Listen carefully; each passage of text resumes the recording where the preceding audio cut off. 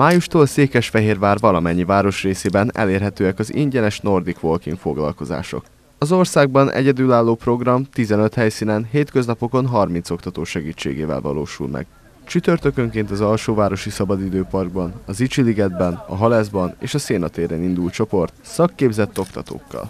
Székesfehérvár rendkívül jó helyzetben van, nagyon sok jó hely van, ahol lehet nordikozni, a parkok közelében meg lehet tanulni nordikozni, és a város közelében levő szabadidős helyeken Például a Pentelei erdő tornapályájára ki lehet menni, aki már nagyon profi oda ki tud túrázni is. A bemutató Nordic Walking foglalkozás előtt Deák Lajosné köszöntötte a sportos fehérváriakat a szénatéren.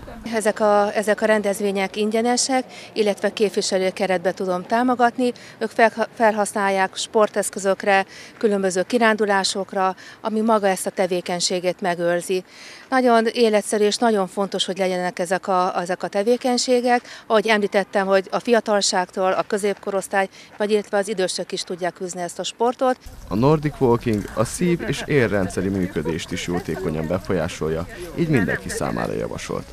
A foglalkozások hétköznapokon 15-20 fős csoportokban zajlanak.